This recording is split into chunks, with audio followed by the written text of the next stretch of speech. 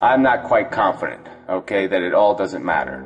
So we'd have to have some way to force them to defend their principle, you know. I mean, should people who believe suffering doesn't matter be mocked and laughed at and ridiculed? Or should we open the jar of smallpox? I mean, I might not be able to convince people of antinatalism tomorrow, but I'm sure as hell not going to have any problem convincing them that I shouldn't open the jar of smallpox. You get the last laugh, obviously, because you've negated the horror. You've negated anything to feel bad about. The baby can fall into the bed of nails, and who the fuck cares? So, yeah, I can't get to somebody who doesn't believe it matters. There's no way. You can give me a piece of logic that's indestructible. I don't think it's going to be, it matters not a jot. I don't think that's going to do it, though.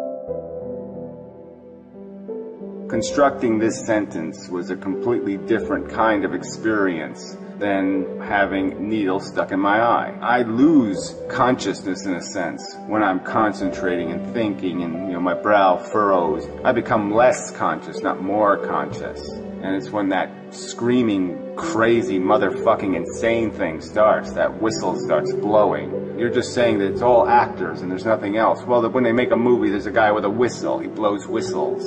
The grips are different than the actors. There's more to this fucking production than your actors. We feel. And then we feel sometimes like um, actor or actors off a stage watching an interaction between two other actors on the stage, all on the stage. You get, you know, there's nothing in my analogy there isn't wild. There's nothing that has anything to do with the reality, in my opinion. You're just not, you're not recognizing the distinct differences between these mechanisms. Even the differences between conceptual programming, thoughts, ideas, connections, and conditioned, you know, the more emotive, passionate, desirous kind of things, the avarice and the fear thing these are different kinds of mechanisms. They're just not, you can't just say it's actor one, actor two, actor three. They're different frickin' things.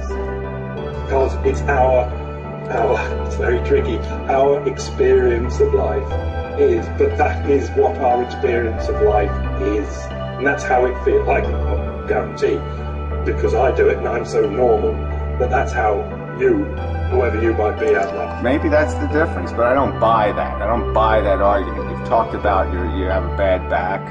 You've talked about, you know, thing. I mean, there's no way you haven't experienced distractingly debilitating discomfort.